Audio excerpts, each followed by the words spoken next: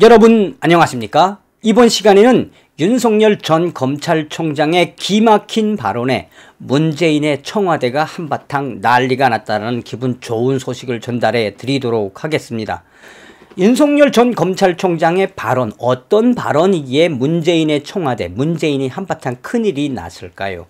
쉽게 말씀드리면 윤석열 전 검찰총장은 대권 후보로서 공식적으로 문재인 정권의 뿌리부터 흔들었으며 문재인이는 사실상 근본이 없는 놈이다. 다시 말하면 문재인이는 정신 나간 놈이다라고 해도 과언이 아니겠습니다. 정성산 TV 좋아요, 구독, 알림은 큰 힘이 되겠습니다. 후원해주시는 모든 분들께 가열차게 멸공. 자, 2017년 여러분들 기억나시겠습니다만 이 문재인이가 대통령 취임식을 하면서 했던 연설을 잠깐 들려드리도록 하겠습니다. 존경하고 사랑하는 국민 여러분 감사합니다. 국민 여러분의 위대한 선택에 머리 숙여 깊이 감사드립니다. 저는 오늘 대한민국 제19대 대통령으로서 새로운 국민을 향해 첫걸음을 내디뎠습니다. 지금 제 두 어깨에는 국민 여러분으로부터 부여받은 막중한 소명감으로 무겁습니다.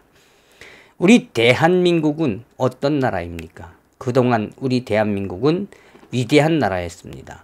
존경하고 사랑하는 국민 여러분, 힘들었던 지난 세월 국민들은 이게 나라, 나라냐고 물었습니다. 대통령 문재인은 바로 그 질문에 새로 시작하겠습니다. 오늘부터 나라를 나라답게 만드는 대통령이 되겠습니다. 구시대의 잘못된 관행과 과감히 결별하겠습니다. 대통령부터 새로워지겠습니다. 우선 권위적인 대통령 문화를 청산하겠습니다. 준비를 마치는 대로 지금의 청와대에서 나와 강화문 대통령 시대를 열겠습니다. 참모들과 어깨를 머리를 마주하고 토론하겠습니다. 주요 사안은 대통령이 직접 언론에 브리핑하겠습니다. 퇴근길에는 시장에 들러 마주치는 사람들과 격이 없는 대화를 나누겠습니다. 때로는 광화문 광장에서 대토론을 열겠습니다. 거듭 말씀드립니다. 문재인과 더불어민주당 정부에서는 기회는 평등할 것입니다. 과정은 공정할 것입니다. 결과는 정의로울 것입니다. 여러분들은 2017년에 했던 문재인의 대통령 취임사를 다시 들으시면 어떤 생각이 드십니까? 문재인이가 이야기했던 그 어떤 것도 지켜지지 않은 이 작금의 마당에 윤석열 전 검찰총장이 문재인이의 취임사를 조목조목 따지며 사실상 문재인이가 대통령 취임식에 했던 연설 거기서 이루어진 게 하나도 없다. 특히나 문재인의 이 공종 나아가서 문재인이가 왜 근본이 없는 놈인지 문재인이가 왜 정신병자 같은 놈인지 윤석열 검찰총장은 문재인이의 취임사를 계속해서 공부하고 있으며 문재인의 취임사를 통해서 문재인 정권을 정조준했습니다. 이 발언이 나간 이후에 문재인의 청와대가 박수현이가 한바탕 난리가 났지요. 이동훈 윤석열 검찰총장, 윤석열 캠프의 윤석열 대변인이 발표를 한 이후에 청와대는 공식적으로 너무한 거 아니냐. 대통령의 취임사, 취임사까지 거들면서 윤석열 검찰총장이 문재인이를 잡아 흔들고 있는 것이 지금 잘하고 있는 것이냐라고 문재인이 한바탕 난리가 났다라고 전하고 있습니다. 자, 그런데 청와대가 지랄 발광을 할 수는 있지요. 그런데 윤석열 전, 전 검찰총장, 윤석열 대권 후보가 문재인의 가장 아픈 취임사를 건드려서 사실상 문재인의 뿌리, 뿌리부터 잘못되어 있다. 문재인의 근본부터 잘못되어 있다. 그게 핵심이 무엇이겠습니까? 왜 청와대가 저렇게 지랄 발광을 하겠습니까?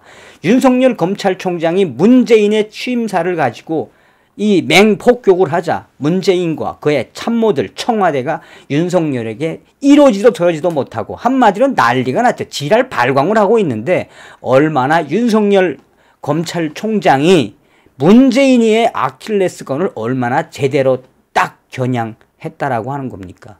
이 소식은 윤석열 전 검찰총장 측 이동훈 대변인은 윤석열 전 검찰총장이 늘 공정과 상식을 말한다며 이런 게 가장 잘 표현된 것은 현재 윤석열 검찰총장은 문재인의 취임사를 계속해서 학습하고 있다.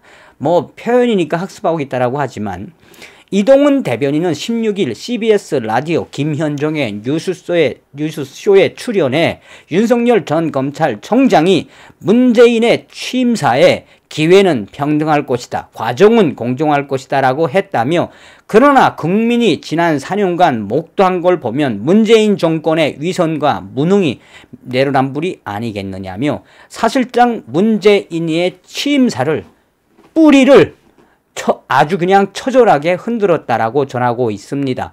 이동훈 대변인은 계속해서 문재인 정권의 4년 전 그러니까 대통령으로 취임하고 취임사를 발표한 이후부터 문재인이가 한 게 무엇이 있느냐.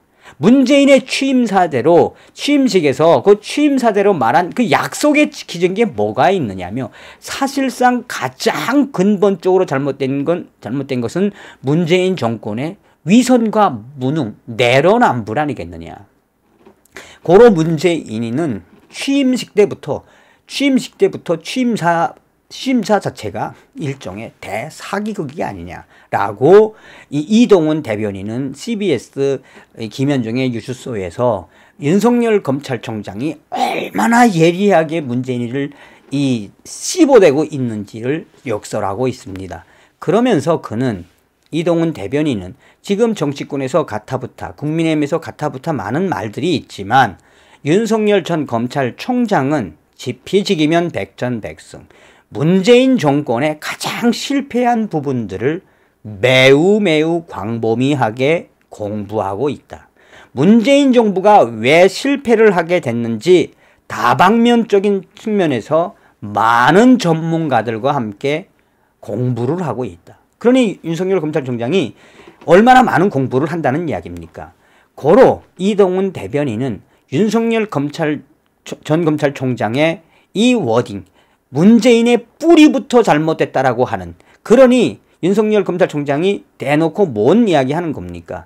문재인 취임사부터 대사기국이며 헌법 질서 또 대한민국의 자유민주주의 파괴 나아가서는 우리 국민들의 피로도를 올린 고로 문재인 정권의 4년간은 한마디로 대사기극이었다며 사실상 문재인의 첫 취임식부터 윤석열 검찰총장은 샅샅이 흩어가고 있다라고 전하고 있습니다. 어떤 생각이 드십니까? 저는 윤석열 검찰총장의 전 검찰총장의 이러한 기막힌 발언에 왜 지금 청와대가 발칵 뒤집어졌고 왜 문재인이가 부들부들 떠는지 기가 막힌 한 수를 보았습니다. 뿌리부터 문재인 정권의 뿌리 대통령 취임식 취임사부터 대사기국이라고 하는 윤석열 검찰총장의 그 의지와 그, 이 전략이 문재인의 껍데기를 쫙쫙 벗기는 과정이 되겠습니다. 이번 시간에는 윤석열의 기막힌 발언에 문재인과 문재인의 청와대가 발칵 뒤집어졌다라는 기분 좋은 소식을 전달해 드리도록 전달해 드렸습니다. 다음 시간에 뵙겠습니다. 멸공